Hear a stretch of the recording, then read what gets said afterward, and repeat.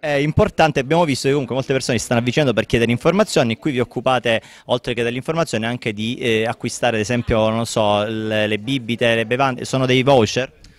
Sì, sono, ci sono dei ticket eh, appositi per poter acquistare sia le bevande che il menù o i classici panini che si fanno insomma, durante le feste.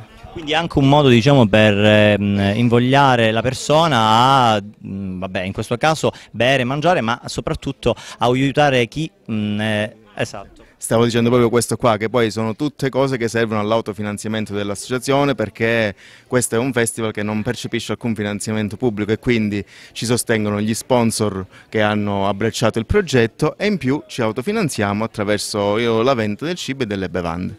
Oltre che del merchandising, perché so che da qui a qualche metro c'è il merchandising che eh, quest'anno è molto ricco perché addirittura ci sono gli zaini. Sì, ci sono gli zaini, i cappellini, i diari, le agende, eh, le, maglie, le, maglie, che sono il pezzo forte dello, dello store, le sacche, insomma un po' di, di tutto.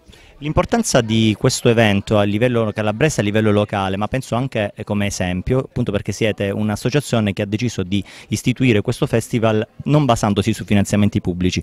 È un esempio e comunque cosa chiede diciamo, il Cleto Festival, oltre all'inclusione che ci ha detto la Presidente prima? chiede appunto il sostegno delle persone che hanno capito l'importanza di questo progetto, perché questo progetto è nato proprio con l'idea di valorizzare questo centro storico che nel corso degli anni stava subendo, oltre che uno spopolamento, l'abbandono più totale.